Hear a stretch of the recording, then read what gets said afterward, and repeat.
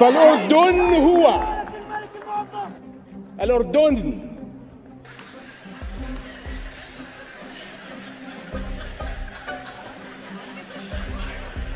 مولع بالاستعراضات الهوليوودية والبطولات الوهمية لكنه لا يحرك قواته ومضاداته إلا لحماية إسرائيل. تعترض الصواريخ وتوقعها على شعبه كي لا تقع على المحتل. حتى وإن اقتضى الأمر التضحية بمواطن بسيط أو اثنين.